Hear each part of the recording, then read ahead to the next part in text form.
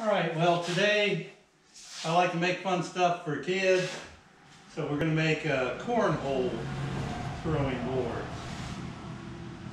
And uh, I went to the lumber company and uh, got some two by four by 8 feet. I have already cut this two by four, 4 feet long. And these, these ones for the ends, I've cut them 21 inches long. I also bought uh, uh, 3 8 inch washers. I bought uh, four of those for the, uh, that's for the legs.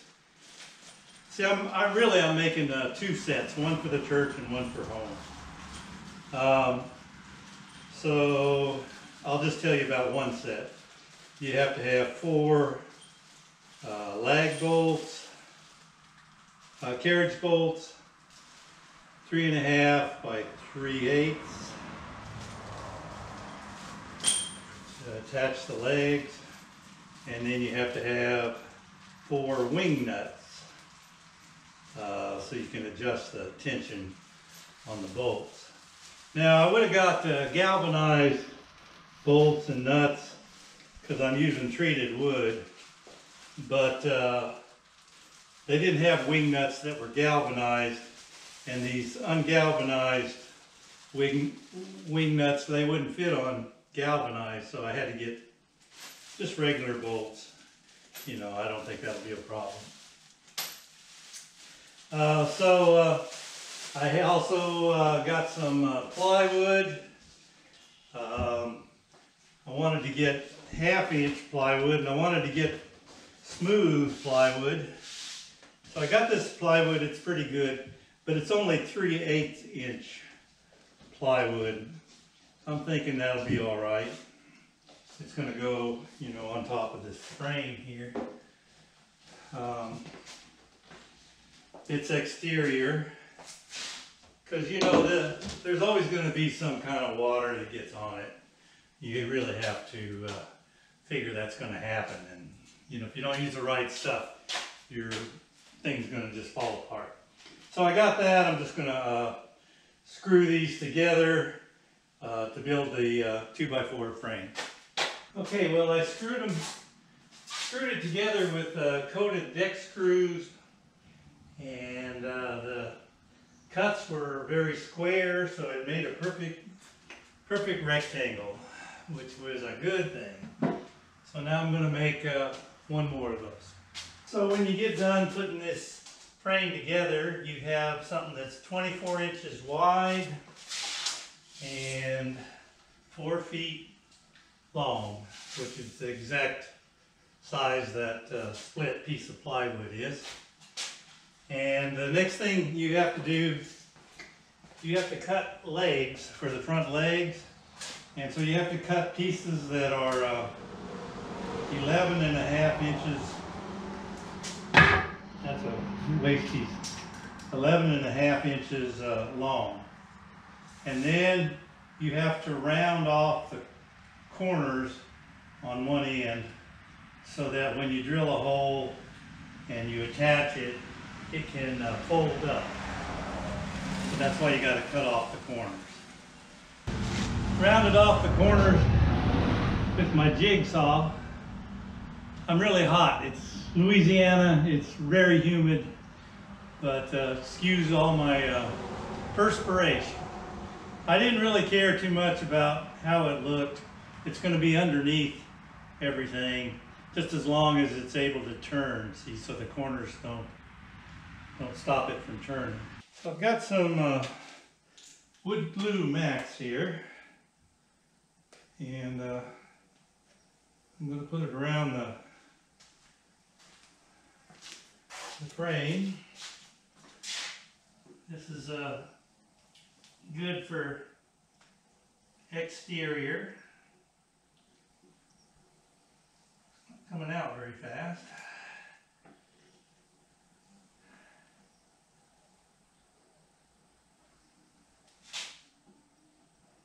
There, it's working.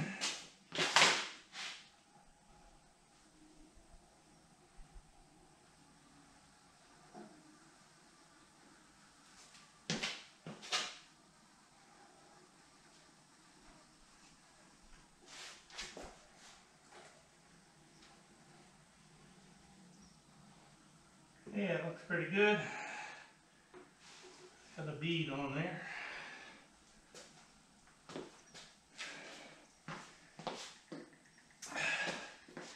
And then I'm going to put the plywood on, the smooth side up.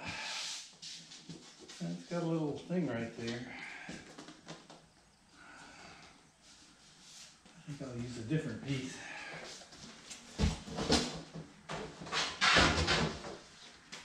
I damaged it when I hauled it. This piece is real nice. I gotta get it right on there. Corner.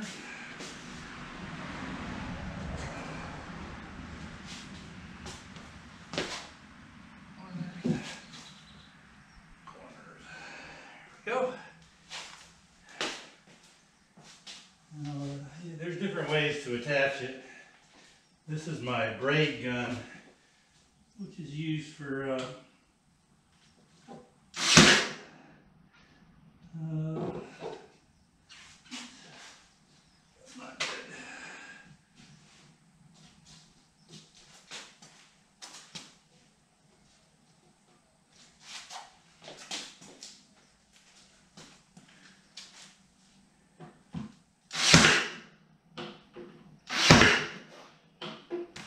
All right, so now it's time to drill the hole. And uh, they say this is the hard part. Uh, it has to be, where's my pencil? 12 inches. Here it is. Has to be in the middle here, 12 inches. There. Nine inches down from the top. Is right there. 12 inches right there. So Marks the spot. And it has to be a six inch hole. So I'm gonna put a, a screw or something, a nail right there. And then I'm gonna have a three inch string and I'm gonna draw a circle. And then I'm gonna drill a hole and then I'm gonna cut it out with my jigsaw. Okay, so uh, Bayou Mom came along while I was doing this, and she said, well, this paint can looks like it's six inches. Why don't you just use that? Sure enough, it was six inches, so I uh, centered it where it needed to go and drew the circle. So easy. I put the legs on, I drilled the hole, put the um, carriage bolt through, put the wing nut on the inside. Uh, th- this one, the next one I'm gonna try and do better, the legs fold up, but they don't go all the way up. Um, I measured it, it's supposed to be twelve inches high right here, but it's thirteen, which is good because see, I need to cut this off anyway to make that level. So this is a true one inch board right here, which is convenient because now I can just draw my line to cut off one inch. And that's how I'm gonna do it. Well, I finally figured out how to get the legs put on there so they'll fold up. You see I've sort of rounded the corners and I've drilled a hole in this leg piece.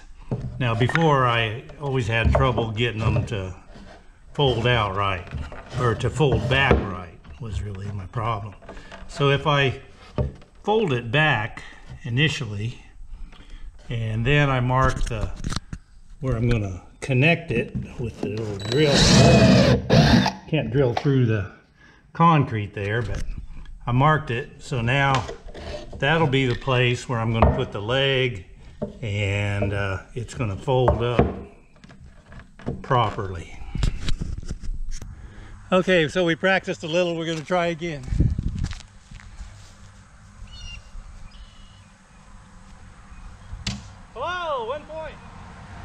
if I can knock it off. Oh, oh two points. He's beat me. Oh. oh, she knocked off her point.